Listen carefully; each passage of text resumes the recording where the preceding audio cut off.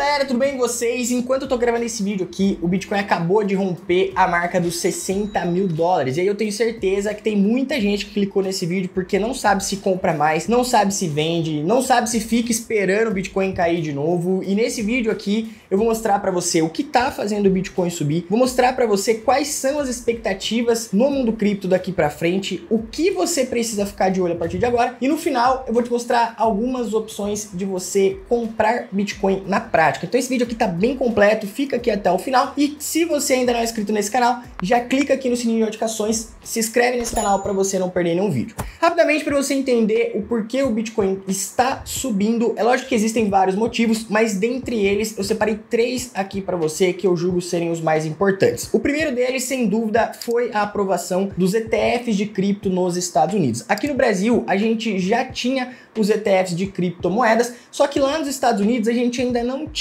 essa lei aprovada. Então você não conseguia investir em Bitcoin através de um fundo de investimento. E por que, que isso é muito importante? Por que, que isso movimentou muito o mercado cripto? Porque uma coisa é a gente abrir conta em uma corretora e comprar ali os nossos 500 reais, mil reais, 10 mil reais em cripto. Outra coisa é um fundo como a BlackRock comprar bilhões de dólares em bitcoins para oferecer para os seus clientes. Então pensa só, a gente compra Bitcoin, a gente movimenta o mercado e de modo geral o mercado cripto, ele sempre está balançando conforme a oferta e a demanda. Quando vem a BlackRock, a Vanguard, a Hashdex, gestoras gigantes, eles compram muito. E aí o que acontece? Aquela pessoa que antes não tinha contato com o mercado cripto, que às vezes tinha muito dinheiro, mas só investia através de fundos de investimento, ela passa a se expor ao mercado cripto porque o patrimônio dela está na mão dessas grandes gestoras. Então, olha só essa notícia. ETF de Bitcoin obtém aguardada aprovação dos Estados Unidos, daí já aconteceu, e depois dessa aprovação, os Estados Unidos movimenta 47 bilhões de reais em Bitcoin. E aí, as principais gestoras do mundo, aí como a BlackRock,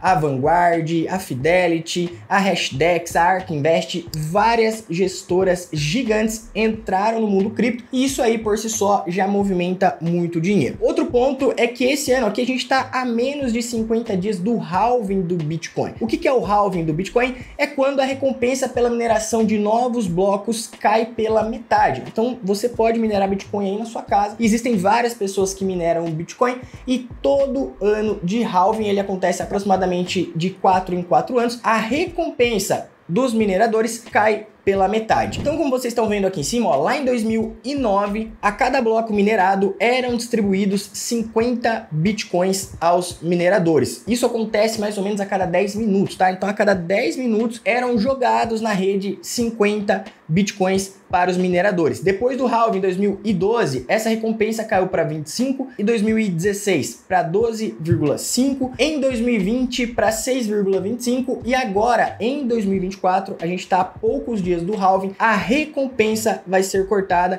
para 3.125 bitcoins a cada bloco minerado. O que quer dizer isso? Que de um lado você tem muito dinheiro entrando no mercado cripto, como eu mostrei para vocês com a entrada dos ETFs e o próprio mercado já aceitando mais os bitcoins como um investimento ou como uma reserva de valor ou como um ativo pensando em valorização e também na tecnologia. Só que do outro lado você tem menos bitcoins sendo produzido. Então, pela lei da oferta e da demanda, se você tem muita gente querendo um produto e pouco produto produto sendo oferecido, o preço sobe. E aí é isso que está acontecendo com o Bitcoin, empurrando o preço do Bitcoin para cima, porque em ano de halving, como você está vendo aí, ó, historicamente o Bitcoin subiu muito. Então lá em 2012 teve mais de 8 mil por cento de valorização, em 2016 mais de 3 mil por cento de valorização, em 2020 mais de 700 por cento de valorização e existem expectativas falando que o Bitcoin pode chegar até os 100 mil dólares após o halving. É lógico que isso aqui não é nenhuma promessa, ninguém consegue bater o martelo, falar que isso aí realmente vai acontecer, porque rentabilidade passada não significa rentabilidade futura. Mas existe uma expectativa muito grande, principalmente porque antigamente, quando você falava de Bitcoin, tinha até banco que excluía a sua conta caso você tivesse movimentações em Bitcoins.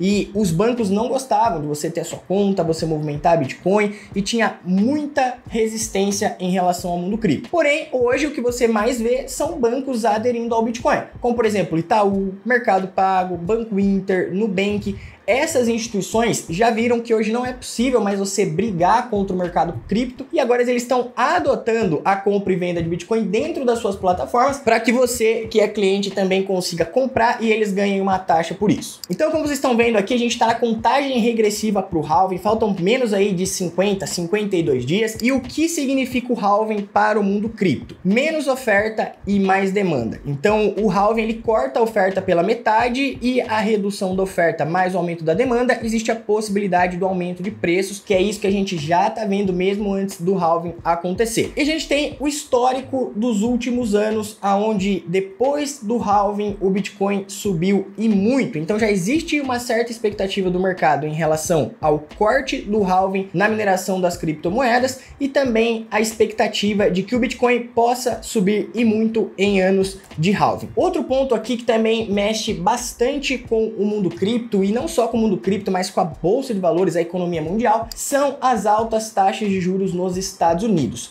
Vocês sabem, eu sempre estou falando aqui para vocês, que quando os Estados Unidos aumenta a taxa de juros, o dinheiro do mundo todo corre para lá. A gente tem uma taxa de juros nos Estados Unidos acima de 5% ao ano. Eu sei que a gente que é brasileiro está acostumado com uma taxa Selic aí de 10, 12, 13, só que lá nos Estados Unidos eles estão acostumados com uma taxa de juros de 1%, 3%, uma taxa de juros muito baixa. Então, historicamente, como vocês estão vendo aqui, os Estados Unidos está com a maior taxa de juros dos últimos 22 anos. Como eu sempre ensino vocês aqui, toda vez que a gente tem uma alta taxa de juros, os investimentos em renda fixa, eles rendem mais. É por isso que muita gente não investe, por exemplo, em ações, fundos imobiliários quando a taxa Selic está alta, porque você consegue ganhar muito dinheiro na renda fixa, CDB, LCI e LCA. Mas a hora que a taxa de juros começa a diminuir, que é o que está acontecendo com a gente aqui no Brasil, a gente está em uma curva de juros, as ações, fundos imobiliários começam a subir. Por quê? Porque quem tinha o dinheiro na renda fixa olha e vê a rentabilidade diminuindo. Então esse dinheiro precisa ir para algum lugar. E aqui no Brasil, esse dinheiro volta para renda variável. Agora, quando a gente tem uma taxa de juros nos Estados Unidos muito alta, o dinheiro das economias mundiais sai da bolsa de valores e entra no mercado dos Estados Unidos, porque faz muito mais sentido para muitos investidores correr um risco menor ganhando uma rentabilidade em dólar, ao invés de deixar o dinheiro, por exemplo, em países emergentes, como aqui no Brasil, ganhando aí 10, 11%. Então, enquanto os Estados Unidos não diminui essa taxa, o dinheiro continua na renda fixa americana. Mas existe uma expectativa que os juros comecem a cair nos Estados Unidos ali por volta de maio, junho, julho. E no momento em que esse juros for cortado, o dinheiro que está na economia americana precisa ir para algum lugar e o mundo cripto é uma das oportunidades que os investidores vão encontrar focando em maiores rentabilidades. Então, a gente tem o ponto que a gente tem a aprovação dos ETFs nos Estados Unidos, a gente tem um ano de halving no Bitcoin e a gente tem uma alta taxa de juros dos Estados Unidos. Por que, que o preço do Bitcoin está sendo impulsionado para cima? Porque o mercado ele também se antecipa aos acontecimentos. Igual aqui no Brasil, antes da taxa Selic cair, os fundos imobiliários e as ações já começaram a subir, porque os investidores já entendem que em algum momento a taxa de juros vai cair, esse dinheiro sai da renda fixa e vai para a renda variável. Nos Estados Unidos, quando a taxa de juros começar a cair, esse dinheiro também vai começar a escoar para algum lugar. E é nesse momento que esse dinheiro que está saindo da economia americana pode impulsionar ainda mais o preço do Bitcoin. E como a gente está vendo, ele já começou a ser impulsionado. Então, só para vocês entenderem como o Bitcoin se valorizou ao longo dos anos. Em 2010, um Bitcoin custava 21 centavos. Em 2018, ele custava 55 mil reais, em 2023 mais de 200 mil reais e agora em 2024, enquanto eu tô gravando esse vídeo, ele praticamente aí já rompeu os 300 mil reais e hoje já passou aí dos 60 mil dólares. E aí a dúvida e a pergunta que todo mundo quer saber é qual será o preço do Bitcoin no final de 2024. Você tem alguma opinião? Comenta aqui embaixo que eu quero saber a sua opinião. E aí o que, que a gente precisa tomar cuidado nesse momento? Tá todo mundo empolgado, Bitcoin subindo, ano de halving, se a taxa de juros nos Estados Unidos realmente começar a diminuir, pode entrar muito dinheiro, tem aprovação dos ETFs, então tem um otimismo gigante no mercado. Só que aí a gente entra em um momento que a gente chama de FOMO, Fear of Missing Out, que é onde os investidores começam a sentir medo de perder a possibilidade de rendimentos. Então, muita gente que está assistindo esse vídeo aqui ainda não investiu em Bitcoin. Quando o Bitcoin estava em 30 mil dólares, em 40 mil dólares, em 50 mil dólares, e agora que está a 60 mil dólares, você já está pensando em investir. E quando chegar a 70 mil dólares, muita gente que está assistindo esse vídeo vai entrar. Você vê que engraçado? A pessoa vê que o Bitcoin tá barato, a pessoa vê que o Bitcoin tá subindo, mas ela não compra porque ela tá com medo, ela tá com receio, às vezes ela não conhece muito bem. Só que aí a hora que começa a subir muito, o mercado entra em FOMO, que é aquele medo de ficar para trás. Será que o Bitcoin vai passar dos 100 mil dólares, 150 mil dólares? E aí muita gente começa a investir simplesmente pelo medo de ficar de fora. E nós já estamos passando por esse momento. Semana retrasada, o Bitcoin estava em 50 mil dólares, 55 agora enquanto eu estou gravando esse vídeo aqui, já passou de 60. Então é óbvio que muita gente já está entrando no mercado agora de forma irracional. Então você precisa tomar cuidado com isso para você não acabar investindo aí sem fundamento nenhum, acabar colocando seu dinheiro em algo que você não entende. E aí a gente pode ver aqui também no site CoinMarketCap que o índice de ganância do Bitcoin, ele está em ganância extrema, olha só, ele está em 80. E o indicador para essa ganância é o preço do Bitcoin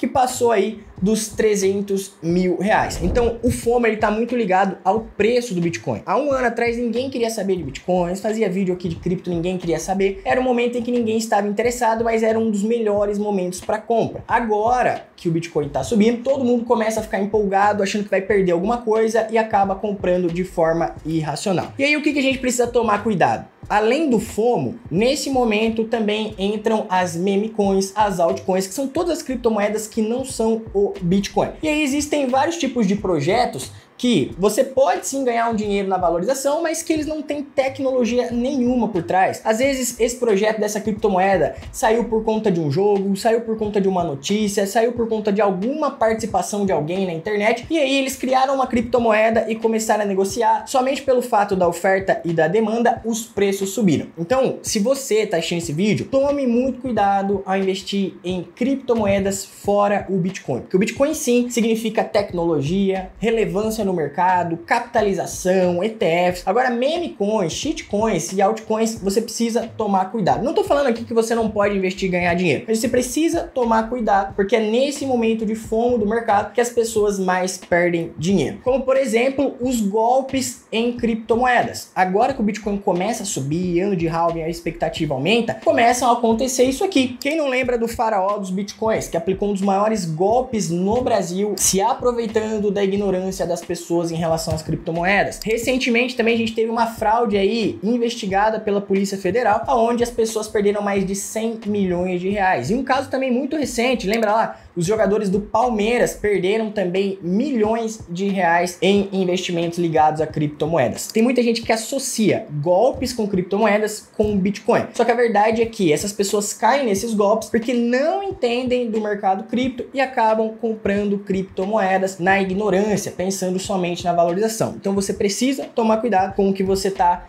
buscando fazer os seus investimentos nesse momento. E aí, como que você pode investir caso você esteja assistindo os meus vídeos, caso você queira entrar no mundo cripto devagar, começando a entender um pouco mais, começando a estudar, mas participando desse mercado. Existem as opções de você investir aí através das corretoras brasileiras, como Mercado Bitcoin, Biscoint, Bixo e Foxbit. São corretoras que você pode abrir a sua conta, como você abre aí conta em um banco digital, são corretoras brasileiras e corretoras bacanas. Tem também as corretoras mundiais, como Binance, Coinbase, Bybit, Crypto.com, que tem muito mais relevância no mercado, tem muito mais segurança do que as próprias corretoras brasileiras, porque são corretoras que já têm um histórico grande aí no mercado e também você tem mais opções de criptomoedas. Não é porque você abre conta, por exemplo, no mercado Bitcoin, na Biscoint, que você vai ter opções de vários tipos de criptos, altcoins, shitcoins ou outros projetos. Quando você abre uma conta, por exemplo, na Binance, você tem muito mais opções de participar de muitos mais projetos, porque é a maior corretora do mundo. Então tem as corretoras brasileiras, as corretoras mundiais. Eu invisto pela Binance, a corretora número um do mundo e que tem a maior quantidade de ativos. Eu vou deixar um link para você aqui na descrição, caso você queira abrir a sua conta na Binance. Abrindo a conta com o meu link, você pode resgatar até 100 dólares de desconto em taxas de negociação. Mas você tem aí a Coinbase, a Bybit, a Crypto.com, ou você também pode investir através dos ETFs brasileiros. Sabe como você compra uma ação, um fundo imobiliário aí no home broker da sua corretora? Você pode investir em ETFs de cripto, como Hash 11, QBTC 11, ETHE 11, que são ETFs ligados ao mundo cripto. Você pode até estudar um pouco mais sobre eles porque eles têm uma boa diversificação. E você também tem a possibilidade hoje de investir direto da sua conta digital. Banco Inter, Nubank, Mercado Pago, Banco Itaú. Só que eu não gosto de investir pelos bancos digitais, porque o Bitcoin ele foi criado para você ter liberdade com o seu dinheiro. Então não faz sentido você comprar cripto em um lugar onde você não pode resgatar essas criptos e colocar em uma cold wallet, que é uma carteira física, e levar os bitcoins para onde você quiser e utilizar em qualquer lugar do mundo. Eu tenho vários vídeos explicando isso aqui, eu também explico isso aqui tudo em detalhes dentro do meu curso Renda com Dividendos, eu sou muito mais abrangente, mas você também tem a possibilidade de investir em cripto através dos bancos digitais, mas eu não recomendo. E aí, para finalizar esse vídeo aqui, você também pode pesquisar mais sobre os ETFs de Bitcoin aqui no Brasil. A gente tem 13 ETFs de cripto, onde os principais são esses três que eu falei para vocês: Hash 11, QBTC 11 e ETH 11, mas tem vários aí que você pode pesquisar. Vou deixar a lista mostrando aí para vocês. E agora eu quero saber, na sua opinião, qual será o preço do Bitcoin no final de 2024? Eu quero saber a sua opinião aqui embaixo e comenta aí se você já está ou não está investindo em cripto nesse ano. Te espero até o próximo vídeo e tamo junto. Valeu!